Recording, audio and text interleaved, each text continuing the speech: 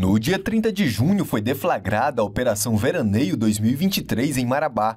Os órgãos de segurança estaduais, assim como os municipais, estão atuando de forma integrada para garantir a segurança da população marabaense, assim como também de turistas que aproveitam as férias escolares para visitar Marabá e aproveitar principalmente as praias da cidade e região.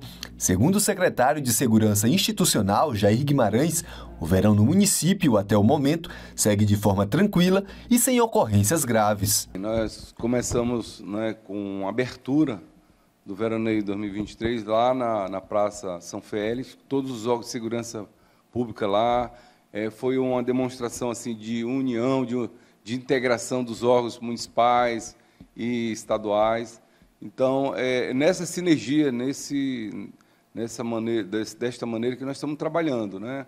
Então, nós fizemos várias reuniões, até antes mesmo de começar o verão, porque começa para todo mundo, o calendário oficial é em julho, dia 1 de julho, mas antes disso a gente tinha feito uma reunião lá no Cine, né, com, capitaneada pelo, pelo secretário de, de, de, de Turismo, né, e lá foram bombeiro, polícia militar, nós, vários órgãos, e lá a gente já traçou algumas metas para ser colocado em prática agora durante o mês de julho. Entre elas, foi justamente a gente fazer um treinamento com os barqueiros, rabeteiros, é, ministrado pela Marinha, eu já tinha mandado ofício em maio, eles demoraram a responder porque é muita coisa para eles aqui na região, mas vieram e aí a gente já é, deu essa capacitação, foi do dia 10 ao dia 14, e agora nós estamos é, fazendo a capacitação dos agentes de segurança pública.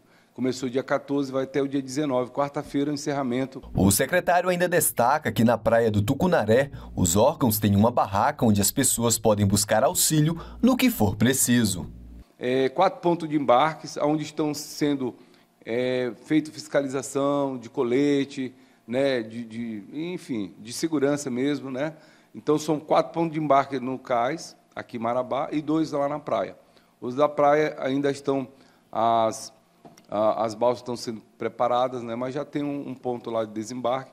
A gente está trabalhando é, integrado, uma barraca lá na praia, todos os órgãos de segurança pública, inclusive do município, que não são de segurança, mas são de saúde, vigilância. Nós fizemos uma grande integração, são várias barracas, e nós temos vigilância 24 horas na praia, sexta, sábado e domingo.